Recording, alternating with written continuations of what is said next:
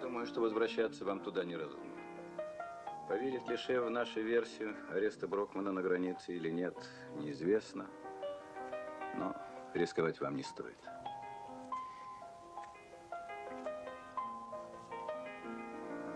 О чем задумались? На рыбака засмотрелся, отца вспомнил. Старик всю жизнь мечтал посидеть с удочкой, половить русского кунька. Не вышло. Ну хорошо, что я здесь буду делать? Там вы сделали все, что могли. Я думаю, что здесь работ хватит. И семью посидеть не грех.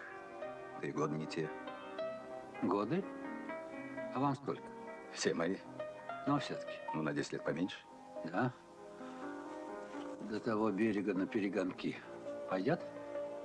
Туда и обратно? Да. Давайте. Годы, годы. Годы это не возраст.